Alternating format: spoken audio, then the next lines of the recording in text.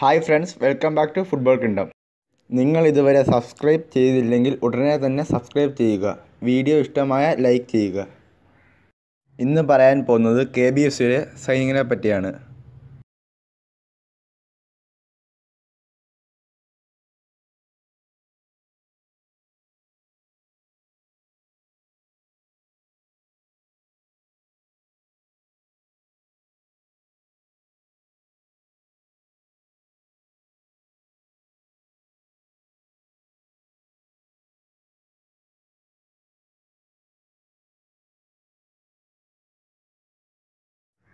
ഇന്നലെ കേരള ബ്ലാസ്റ്റേഴ്സ് ഒരു ഇന്ത്യൻ സൈനിങ്ങാണ് നടത്തിയത്.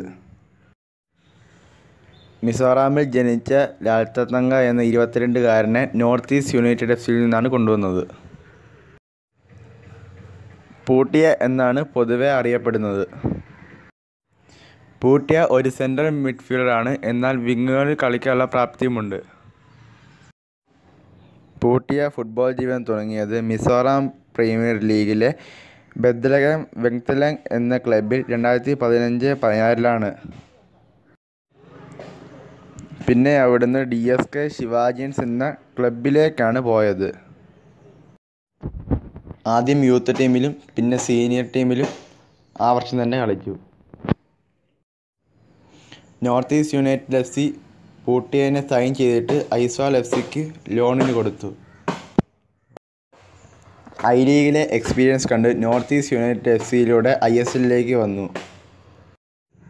നോർത്ത് ഈസ്റ്റ് യുണൈറ്റഡ് എഫ് സിക്ക് വേണ്ടി ഇരുപത്തൊമ്പത് മത്സരം കളിച്ചിട്ടുണ്ട്. രണ്ട് സീസണിൽ ആയിട്ടാണ് കളിച്ചത്. കേരള ബ്ലാസ്റ്റേഴ്സ് സൈൻ ചെയ്തിട്ട് പൂട്ടിയ ഇതാണ് പറഞ്ഞത്. പൂട്ടിയെ വിശ്വസിക്കുന്നത് നമുക്ക് ഐ എസ് എൽ ട്രോഫി കേരളത്തിലേക്ക് കൊണ്ടുവരാൻ കഴിയുമെന്നാണ്. അത് നടക്കാൻ നമുക്കും പ്രാർത്ഥിക്കാം. എന്തായാലും പൂട്ടിയയ്ക്കും കേരള ബ്ലാസ്റ്റേഴ്സിനും ഒരു നല്ലൊരു ഐ എസ് എൽ സീസൺ ആകട്ടെ എന്ന് നമുക്ക് പ്രാർത്ഥിക്കാം.